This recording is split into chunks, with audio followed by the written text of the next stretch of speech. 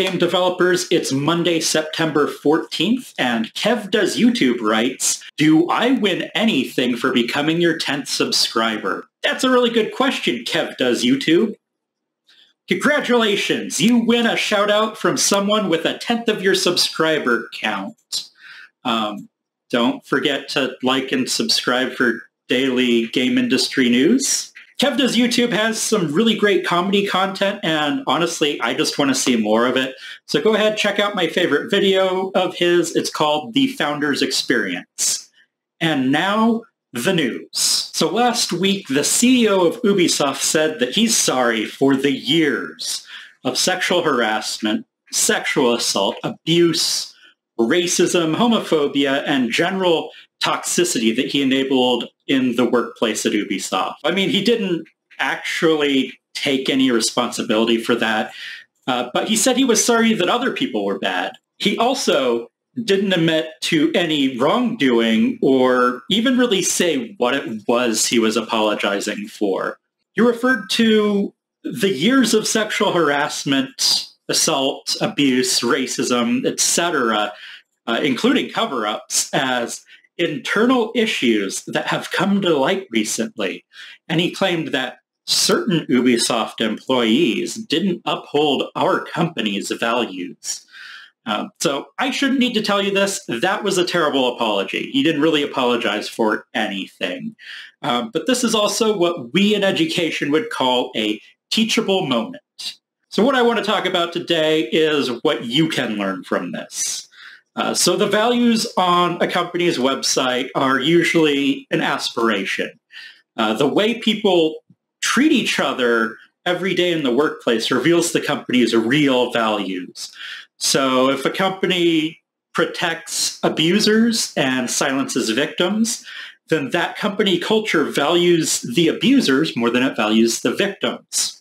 So you should figure out before you even get a job at a studio whether or not that's really a company you want to work for. Uh, so when you get to the end of that first interview for a game development job, the interviewer will ask you if you have any questions for them. And this is actually your chance to interview them and decide whether or not you want to select this company as your employer. And there are a ton of questions you should be asking. Um, I'm going to give you some examples of a few. What are the company values? So if the interviewer says they don't know or they say the values are on the website, that's bad.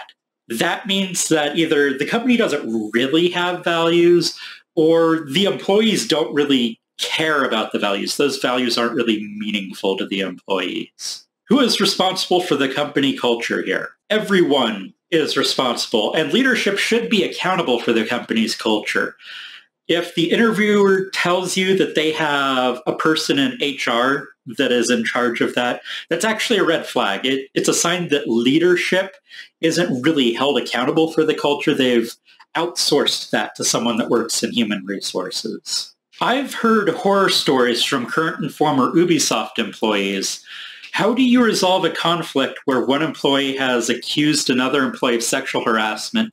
And what does the studio do to ensure that the same things that happened at Ubisoft don't happen here? If your interviewer doesn't know the answer to this question, that's a sign that they don't have a policy in place to handle this kind of situation. And if your interviewer is someone who works in human resources, that is a huge red flag. They should know this policy forwards and backwards. There are a ton of questions that you should be asking, like I mentioned earlier.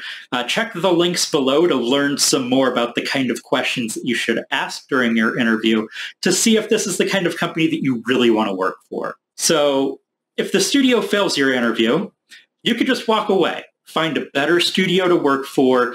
This is a competitive industry, but don't feel like you have to accept the first offer you receive from a game studio in order to break into the industry.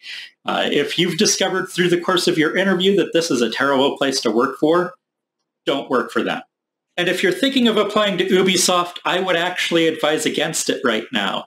A few resignations won't fix the studio's toxic culture. The actions that they're taking right now just really aren't enough to change something that has been going on for this many years. Now, my advice might change in the future. They might start doing a better job of supporting their employees. Uh, but for the time being, I would avoid them if you hate your boss or hate your job, then just get the hell out of there. Find a new job, find a new boss. I guarantee you that you'll be able to find another place in the game industry where you won't be miserable or you won't dread going into work every day. Uh, don't feel like you have to stick around to try and change the company from within.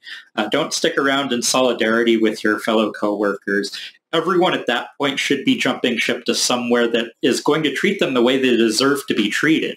And if you're currently working at Ubisoft, now is your chance to bail out. No studio worth working for will judge you for leaving a company after you've discovered that they've covered up sexual harassment complaints for years. That would actually show me that you're the kind of developer that I want to work at my studio. You are the kind of person I want to hire if your boss is asking you to break laws or to cover up abuse, don't. The Nuremberg defense will not protect you. If you don't know what the Nuremberg defense is, that's the idea that it's not your fault because you were just following orders. You will take the fall for your actions and your boss will keep their job and then they will offer a public apology that a certain employee didn't uphold the company's values, and this time you'll be that employee.